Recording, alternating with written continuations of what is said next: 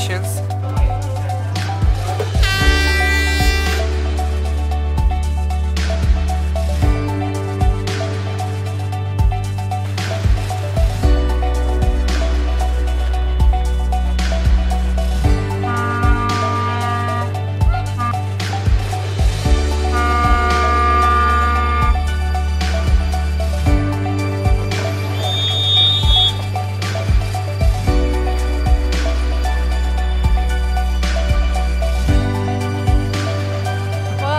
Certainly hoping that it will be an excellent event. I've been to Vilamoura a few times before and uh, everything has always gone really well. It's a fantastic venue and it's great to see all these boats out racing. First race of the